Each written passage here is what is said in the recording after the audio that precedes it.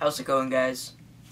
Today I'm going to be reviewing a movie that I, um, I watched it last night, I rented it at Blockbuster, I have heard of it before, and it looked very interesting, and plus it starred somebody that I met before, so I thought I might as well check it out. It is called Do Not Disturb, and in 2010, back, I don't know why it's being released now with a newer title, but um, back then it used to be called New Terminal Hotel in 2010. I, I don't know why, but they're both the same movies, but um, it stars Stephen Geoffreys, and um, I think I have mentioned his name before in earlier reviews and videos and whatnot, and I called him Stephen Jeffries.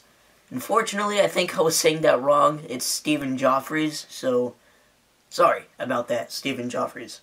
Do Not Disturb, it's pretty strange. It's it um Stephen Geoffreys plays the main character named Don, and Don is a screenwriter. He writes screenplays, and um, he's doing one based off a murder, I'm assuming, and it turns out that he is a murderer, and he's actually murdering people himself. But that's not all like what the story's about, because um, you know uh, he also has a backstory about how his wife got murdered and stuff like that. And then this chick Ava always comes over uh, like to his hotel to check on him and stuff.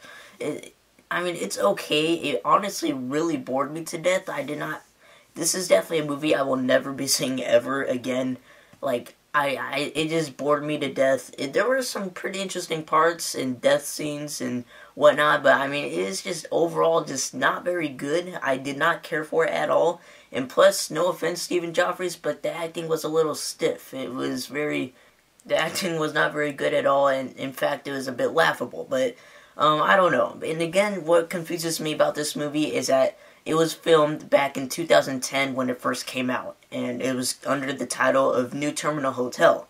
I don't know why it is being released now. Maybe it was filmed some other country, I don't know, but it's being released now called titled Do Not Disturb on DVD and um same movie different title, you know, but uh whatever. I don't that kind of confuses me, but for the movie itself, I did not very find it very interesting again. The acting was really stiff and I just didn't find the story interesting, and the death scenes is just overall was really boring. I didn't really care for it. Definitely a one watch kind of movie for me. I wouldn't really suggest this unless you have no, absolutely nothing else to watch.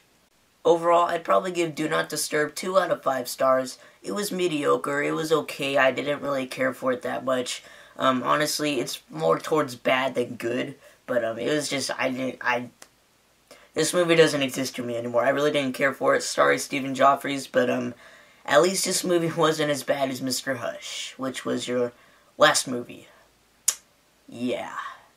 Alright guys, that is it for this review. Please leave a comment down below on what movie I should review next, and I will see you guys later.